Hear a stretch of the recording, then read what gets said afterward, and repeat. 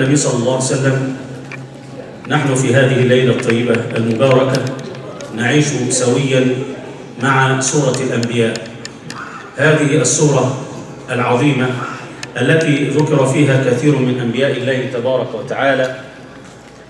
وطبعا السؤال اللي بيطرح نفسه ما هي ما يعني عدد الأنبياء المذكورين في هذه السورة؟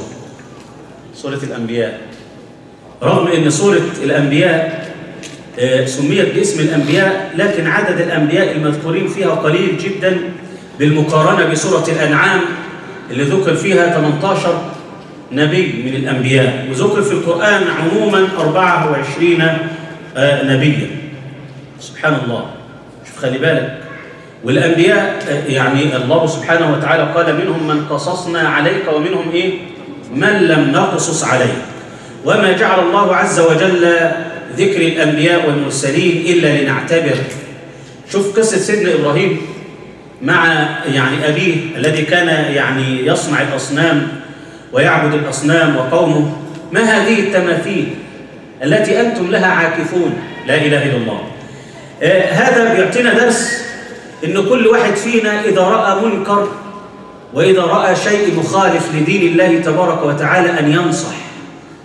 لأن بعض الناس يقول لك يا عم عليكم أنفسكم لا يضركم من ضل إذا اهتديتم. وأنت يعني هتحاسب الناس أنت مش هتحاسب الناس لكن أنت عليك البلاغ وعليك الدعوة إلى الله سبحانه وتعالى. كنتم خير أمة أخرجت للناس تأمرون بالإيه؟ بالمعروف وتنهون عن المنكر بعدين وتؤمنون بالله. سيدنا أبو بكر الصديق صعد المنبر ذات يوم وقال أيها الناس إنكم تقرؤون هذه الآية على غير موضعها اللي هي الآية إيه؟ آية يا أيها الذين أمنوا عليكم أنفسكم. ناس كتير يقول لك عليك نفسك.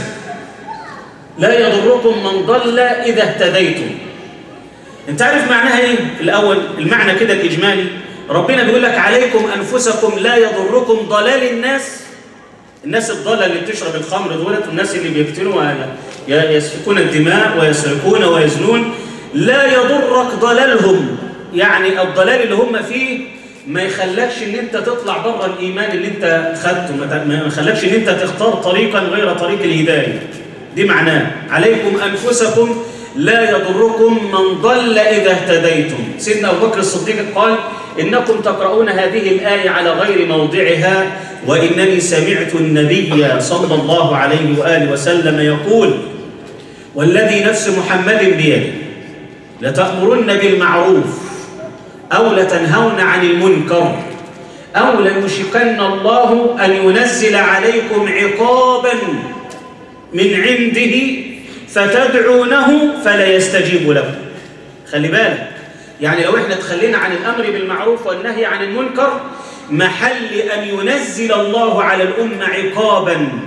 ثم يدعونه فلا يستجيب الله الدعاء.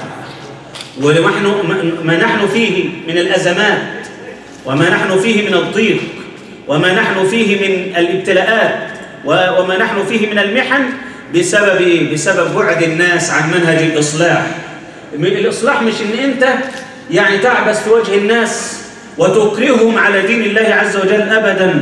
الإصلاح أن تأخذ بيده برفق وأن تأمره بمعروف بمعروف وأن تنهاه عن المنكر بمعروف خلي بالك الصحابي الجليل قتادة الصحابي الجليل رضي الله تبارك وتعالى عنه قرأ قول الله سبحانه وتعالى عن إيه؟ عن سيدنا موسى وهارون حينما أرسلهما إلى مين؟ إلى فرعون الطاغية اللي قال أنا ربكم الأعلى ربنا قال له إيه؟ فقولا له قولا لينا لي رب لعله يتذكر أو يخشى.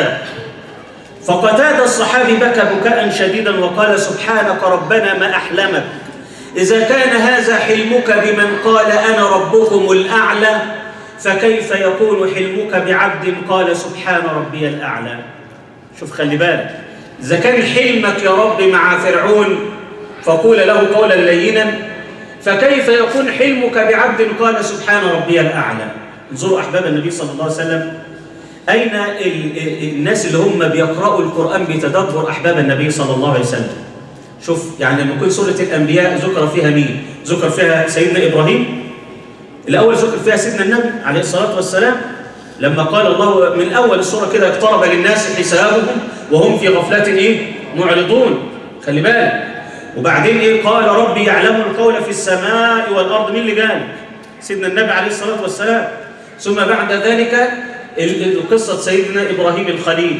وشوف بقى يعني إن هم أجمعوا أمرهم وأوقدوا نارا حتى إن الطير فوق يعني النار كانوا يحرقون لو مروا فوق النار التي أعدت لسيدنا إبراهيم يحرقون من شدتها. ووضع فيها مين؟ سيدنا إبراهيم عليه السلام. خلي بالك.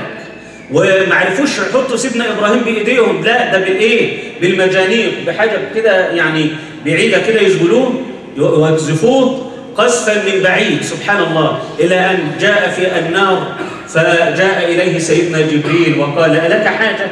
مش عايز تأمرني بأي أي أمر؟ فقال أما منك فلا وأما من الله فهو عالم بحالي غني عن سؤالي. قال النبي صلى الله عليه وآله وسلم حسبنا الله ونعم الوكيل. قالها إبراهيم. وقالها مين؟ سيدنا محمد صلى الله عليه وسلم. وقالها من كمان المؤمنين الذين قال لهم الناس إن الناس قد جمعوا لكم فاخشوهم؟ عملوا إيه؟ فزادهم إيمانا وقالوا حسبنا الله ونعم الوكيل. في الصورة دي دعوة زنون اللي هو سيدنا يونس فيها اسم الله الأعظم الذي إذا دعي به أجاب وإذا سئل به أعطى اللي هي إيه؟ لا إله إلا أنت سبحانك إني كنت من الظالمين. والله لو أنت قلتها بنية الفرج وبنية أن يكشف الله عنك الهم والغم أيها المهموم أيها المغموم الذي عندك من الهم ومن الغم لو أنك لجأت إلى الله بصدق لا إله إلا أنت سبحانك إني كنت من الظالمين. ده سيدنا النبي اللي قال دعوة زنون فيها اسم الله الأعظم الذي إذا دعي به أعطى وإذا سئل به أجاب سبحانه وتعالى. ثم يا أحباب النبي صلى الله عليه وسلم ربنا قال ساعتها أن قال لا إله إلا أنت سبحانك إني كنت من الظالمين. ربنا قال فاستجبنا له ونجيناه من الغم مش هو لوحده. وكذلك إيه؟ وكذلك ننجي ننجي المؤمنين. اللهم اجعلنا منهم يا رب العالمين. في هذه الصورة العظيمة أحباب النبي صلى الله عليه وسلم إحنا عايزين نعيش بقلوبنا. لما يكون واحد زي سيدنا زكريا فقد الولد. ولجأ إلى الله سبحانه وتعالى. ربي لا تذرني فردا وأنت خير الوارثين. ربنا قال إيه فاستجبنا له. وعملنا إيه؟ ووهبنا له يحيى. وكمان وأصلحنا له زوجة. ليه كل يا رب. إنهم كانوا يسارعون في الخيرات. ويدعوننا رغبا ورهبا. اللهم اجعلنا منهم يا رب العالمين. أسأل الله سبحانه وتعالى في هذه الليلة أن يجعلني وإياكم من عتقائه من النار ومن المقبولين الفائزين يا رب العالمين. قوموا إلى صلاتكم يرحمكم.